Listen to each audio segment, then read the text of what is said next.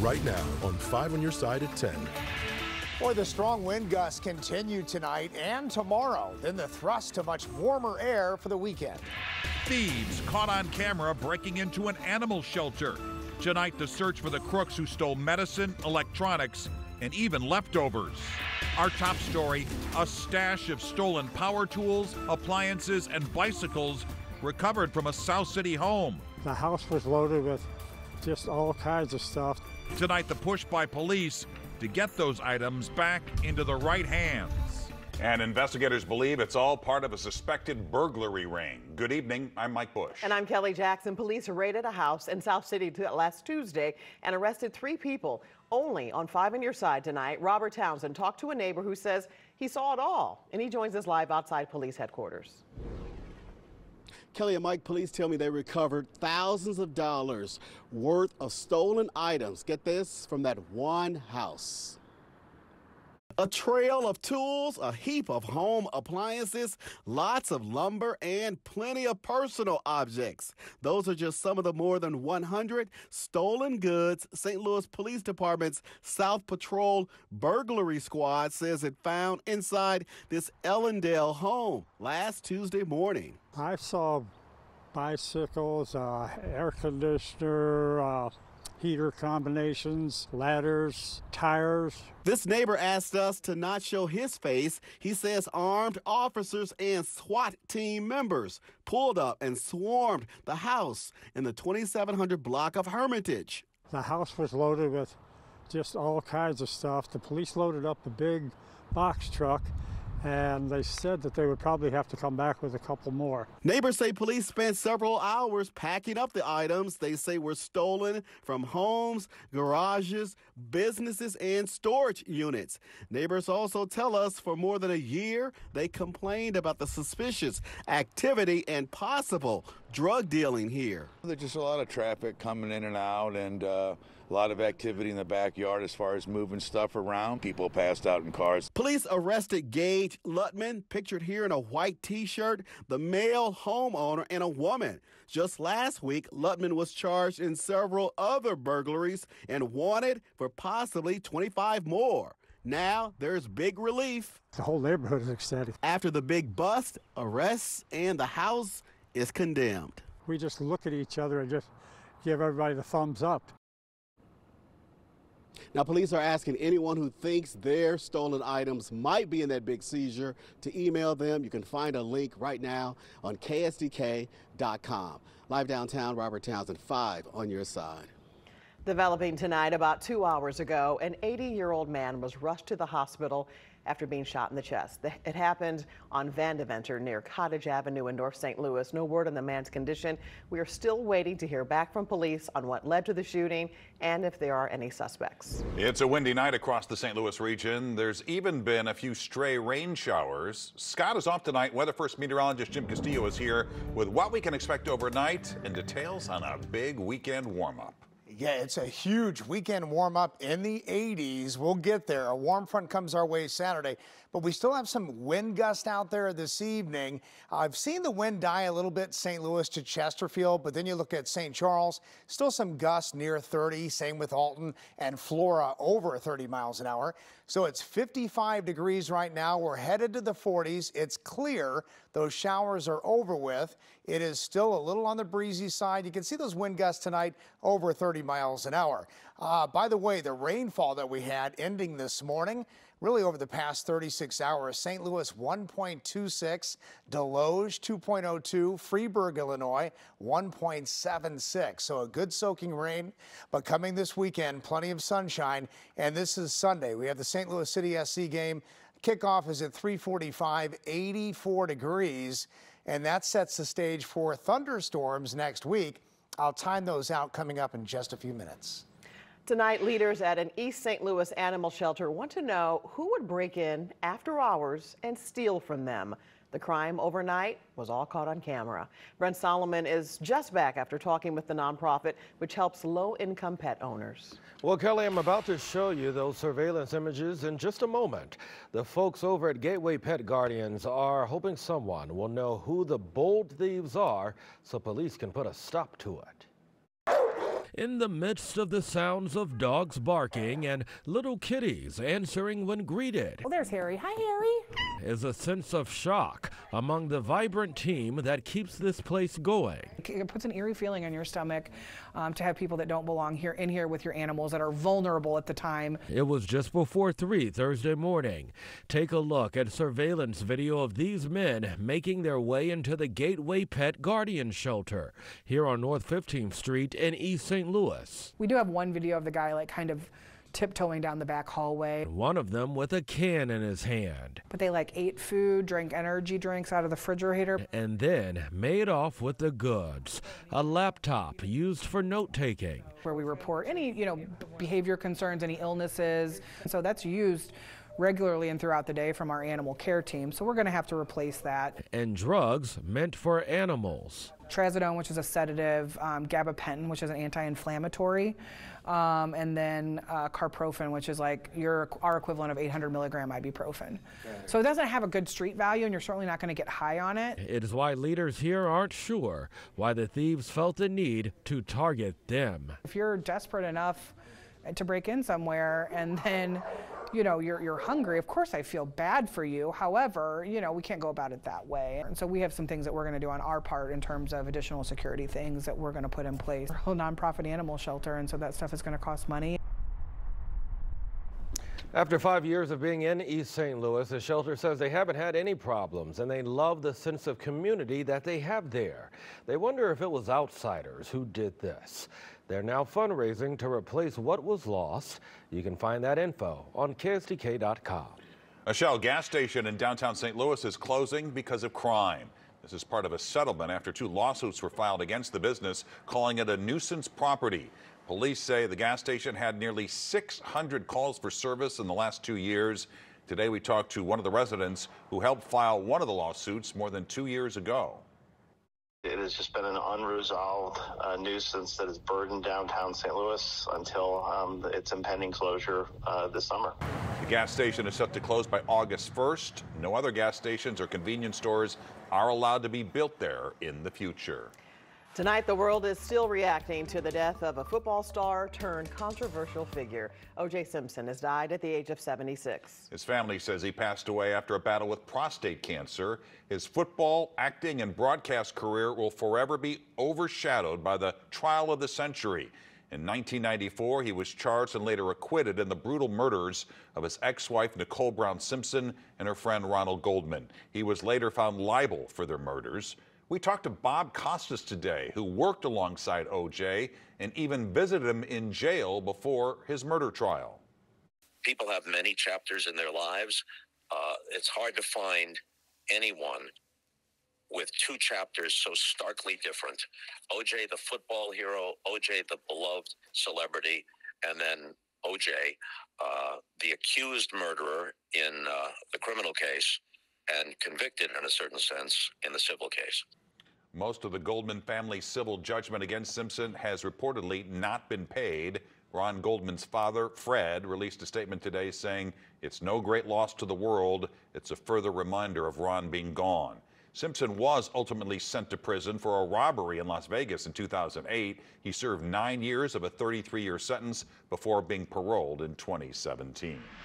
Tomorrow's voter, tomorrow, voters in Bridgeton will head to the polls for a special election to elect a new mayor. Two candidates are on the ballot. Both currently serve on the city council. Randy Hein has been on the council for 12 years and is currently serving as acting mayor. Don Hood has served the city for decades as first a police officer, then chief of police and assistant to the mayor. Now, the special election is being held two months after the death of Mayor Terry Briggs. The winner will serve the remaining three years of his term. A new marijuana dispensary is holding a grand opening tomorrow in Soulard, and it's located just feet from a school. Kind Goods is located on South Broadway, right across the street from Lift for Life Academy. Students have protested this dispensary and another opening nearby. The city of St. Louis opted out of a Missouri state law requiring dispensaries to be 1,000 feet away from schools. Tonight, the screening of a documentary that shines the spotlight on the black maternal health crisis. Sister Doula follows the work of Kansas City nurse Hakima Payne, a Missouri doula who is working to educate and help reduce the mortality rate for black mothers and babies in the state. Filmmaker Emmett Williams followed Payne for five years as she worked to raise awareness about the health disparities among black families. St. Louis Mayor Tishaura Jones attended tonight's event saying federal funds are helping further the cause. I am in a unique position to be able to uh, fund and support this work. We've been able to direct some of our American Rescue Plan Act funds to support doulas, uh, to support maternal health, um, and we are happy and glad to do that. Mayor Jones also declared today as Black Doula Day in the city of St. Louis. A beloved high school girls basketball coach is recovering at home tonight, less than a month after suffering a heart attack during the state tournament. The family of Dan Rolfes announced today that he has been discharged from Barnes Jewish Hospital. They add he still faces some challenges, and they thanked everyone for their support. Rolfes is the longtime head coach at Incarnate Word Academy. He fell ill after the team's semifinal game last month in Columbia. The next night, they went on to win their seventh straight state title. I think they're happy we are gone and thought we'd keep our mouths shut. Claims of neglect at a skilled nursing facility. Tonight, the I team is hearing from more concerned families after its investigation. We heard her screaming in pain, and we went in and we said, Mom, are you okay? The complaints we've uncovered and the response from the facility. It's still windy tonight, and that'll continue into Friday. It looks dry for the weekend with summer like temperatures, but by the start of next week, a chance of storms. New tonight, the I-Team follows up on the death of Dennis Price at Delmar Gardens West. Our report struck a nerve with multiple family members and residents of the skilled nursing facility. They say they had similar complaints, and tonight, our Christine Byers brings us some of their stories and how the facility is responding. Twin sisters Melissa Smith and Teresa Baumkamp, Norm Polsky, and Michelle Gralnick belong to a club they wish they were never a part of. They all have loved ones who have died while in the care of Delmar Gardens West. I think they're happy we are gone and thought we'd keep our mouths shut. The twins contacted the I team in 2023 after their 54 year old brother Dennis died from what they believe was neglect. A state investigator concluded I was unable to verify a regulatory violation had occurred based on the lack of sufficient evidence. Since then, about a dozen people have contacted the I team or the sisters sharing their allegations of mistreatment at the town and country facility. I've had residents call me and I hear aides in the hallway with loud music dancing and laughing while residents are yelling for help. And that is since the story came out. Norm Polsky's mother died in June. You're feeling safer now to come forward. Oh, yes, yes, yes. Um, because I don't, yeah, there's no repercussions. Hilda Polsky was 104 years old. And she was a Spitfire. Her son is now haunted by how she spent her last six years at the facility. We heard her screaming in pain, and we went in and we said, Mom, are you okay? And she said, uh, No, I, I'm really in pain. And so I said, Why don't you call the nurse?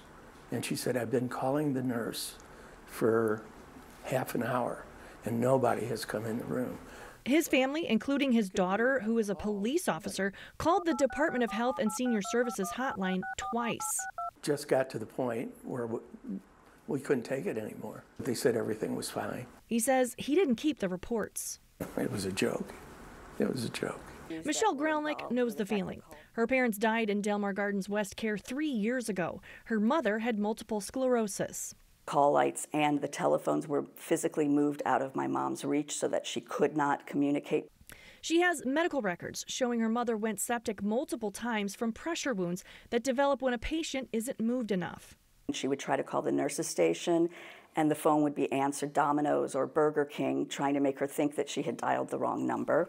The experience changed um, the course of Michelle's life. Um, now she's a residents' rights advocate for people living in nursing homes if this was happening to my parents who had three adult children in town all looking out for them, then what would be happening to those residents who didn't have loved ones, who were there alone and isolated, and that just fueled me. Delmar Gardens West sent a lengthy statement to the I team, which read in part Delmar Gardens West exceeds state and national averages when it comes to staffing. It said only one of Michelle Gralnick's complaints was substantiated by the state and claimed Norm never called the state hotline. He still can't shake what he says he saw when his mother was there. They were supposed to help the people eating, and I didn't see that going on, especially with my mom. The I team found 17 complaints the state has investigated against Delmar Gardens West since 2016. The most recent, in June of 2023, the same month Norm's mother died, shows the facility failed to ensure three residents didn't run out of their medications, that their families and physicians were notified about it, and to ensure one resident had a device they needed to exercise their lungs. Records show the issues were corrected in July of 2023. It doesn't surprise the twins. Because we really thought by coming forward after our brother died, there would be a difference. Christine Byers, five on your side. Now, to read more of the response from Delmar Gardens West, you can look for this story in the As Seen on TV section of KSDK.com. And if you have a tip for Christine and the Five on Your Side I team, you can leave a voice message at that number, 314 444 5231, or you can just send an email to tips at KSDK.com. And all calls and correspondence will be kept confidential. Well, meteorologist Jim Castillo in for Scott tonight. He is here with the weather first forecast and going to have a warm up this weekend. Yeah. Huge, yeah. uh, average high is in the 60s. Can you, I mean, 80s for days. Now it's going to come to an end, and I'll let you see that in the 10 day forecast coming up. But uh, I'm excited about it. You know, it's probably going to get a little bit too hot in a couple of days. I'll show you those coming up too. Right now, looking down Market Street, the Arch, what a beautiful shot. City SC takes the pitch as we get into Sunday. And one of those really warm days. But we have to get through this wind tonight. Some of those wind gusts over 30 miles an hour. At times, I've seen the wind even in St. Louis down to about 7 miles an hour, but the gusts were over 40 in spots. 55 degrees right now, but then lows tonight, not freezing, but in the 40s, so mid 40s in most areas, couple spots in the upper 40s. And that wind stays with us tomorrow. So here's this wind machine. It's right around the Great Lakes, right here, Chicago there. And right around it, you're getting that westerly and northwesterly wind. A couple showers and storms still popping up in Indiana and even just on the northern fringe of our viewing area. But tomorrow is expected to be very sunny with high temperatures at about 70 and that northwest wind 15 to 25 gusts to 35 miles an hour. Then we get into Saturday. Here's a warm front. It starts to push through the entire area. So below that warm front, you're in the 80s. Springfield, Missouri, Columbia, St. Louis, and then even on Sunday, 85 degrees. And really looking west, not much is going on. Here's a dry line uh, pushing through Kansas and into Oklahoma, and uh, the moisture isn't there yet. But as we get into late Monday night and into Tuesday, that chance of severe weather starts to ramp up a little bit. We'll see how this comes together, and we'll keep you up to date on this throughout the weekend coming up. The Futurecast showing the first chance of showers and storms will be very late Monday night and into the overnight hours early on Tuesday, and then another chance in the afternoon and evening on Tuesday uh, for some potential severe weather. All right, here's the weather almanac 70 today for that high, 52 for the low. But boy, that rain, even 24 hours ago, a soaking rain moved through here, one and a quarter inches in St. Louis. Flowers got a lot to drink for sure. 10 day forecast showing those 80s. There they are all the way through next week until Friday. And then next weekend, we're in the 60s. So a big difference. And you know, that's, that's closer to average. Yeah. So we have at least a week of summer but temperatures. It, it looks like a great weekend. Yeah. Jim, thanks. Yes. Sports with Frank is next. Mike, they're playing golf to win a green jacket at Augusta, but last week a local girl was already victorious in Augusta. That story, plus the Billikens winning in recruiting and the Cardinals getting a key player back. This Five on Your Side Sports Report is sponsored by Telle Tire and Auto Centers, driving your way since 1942. The Cardinals had the day off, and when they resume tomorrow night in Arizona, they will welcome back Lars Nootbaar. He's been out since early March with fractured ribs. They need some offense out of this outfield, too. Two combined homers from the outfielders. By the way, Tyler O'Neill has six for the Red Sox. However, the Cardinals are getting some unexpected offense out of their 23 year old Ivan Herrera. He blasted one yesterday. Has three homers on the season. The only guy with a higher OPS on the team is fellow catcher Willson Contreras. 432 feet, 112 miles per hour. Your furthest, Ivan? Yeah, 114 I think is my best. 114, like 455. Something. Like prepare for any pitch and and stay back on that changeup and mm-hmm. kind of crush it a little mm-hmm. bit. Yeah, just a little. Josh Schertz will be our guest on Sports Plus Sunday night. A few tidbits. He and Gibson Jimerson had lunch, and Gibson will likely be coming back to play for the Billikens. The coach wants a team of players six feet four to six feet ten, and he will have four players six ten and above making visits to SLU over the next few weeks, including Robbie Avila, one of the most talked about players in America last year. 17 points, seven boards, and four assists a game for the man nicknamed Cream Abdul Jabbar.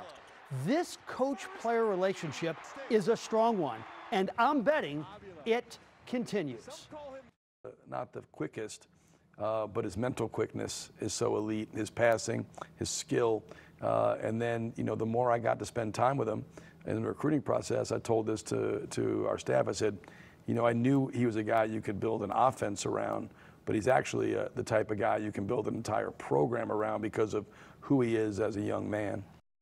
To Augusta, Bryson DeChambeau was on fire in round one of the Masters, a 7 under 65 to grab the lead. But one shot back was Scottie Scheffler out of the sand on 12. This is magic.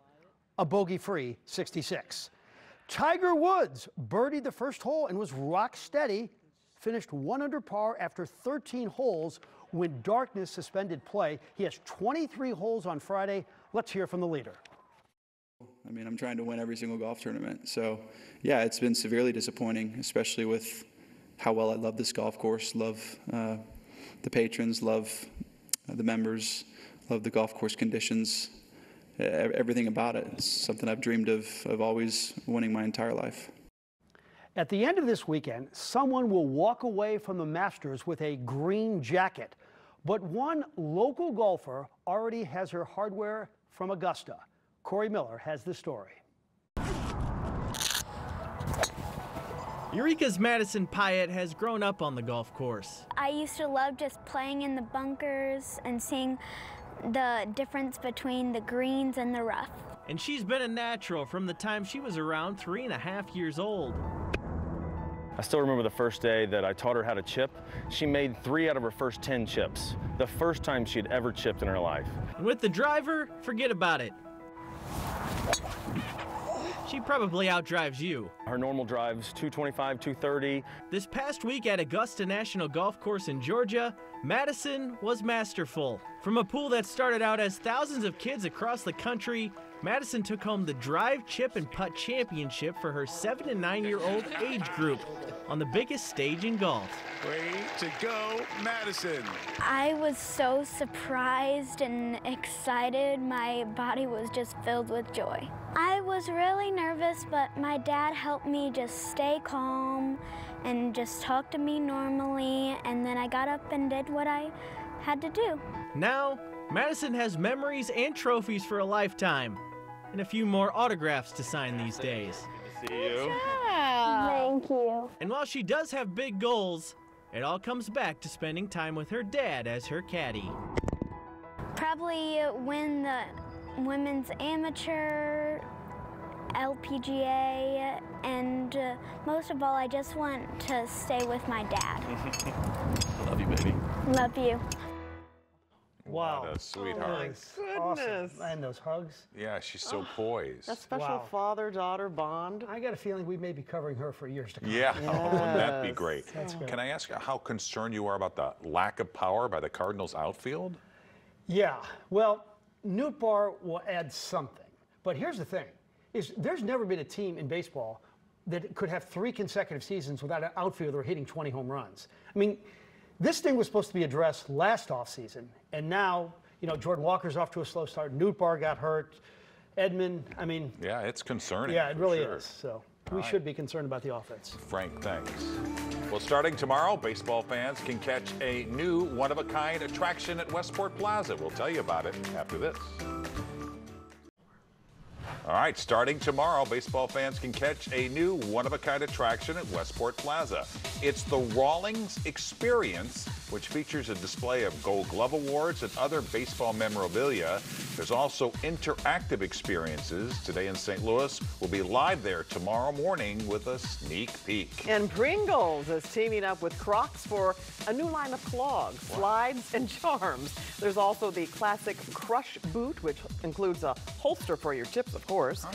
Pringles is also releasing a limited edition flavor Crocktail Party. It features sweet and spicy flavors of watermelon and chili How do lime. Pringles and Crocs go together? I don't. And you got to like have them on your side at all times. Yes, with that little holster, Pringles Skech- holster. Skechers and Cheetos. We'll just put those together. Sounds good. That's good. our new idea. there you have it. Five on your side at 10. The Tonight Show is next. Have a great tomorrow.